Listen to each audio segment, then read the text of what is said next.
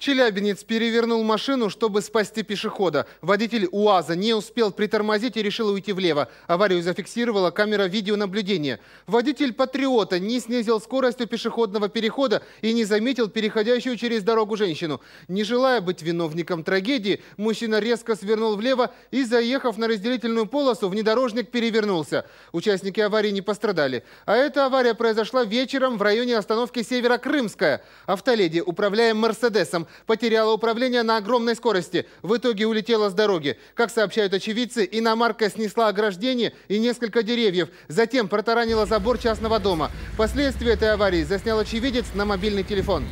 Он в столб врезался. Там колесо на глушняк. Все произошло вчера на перекрестке проспекта Победы и улицы Молдавская. На повороте пустая фура врезалась в столб и задела легковой автомобиль.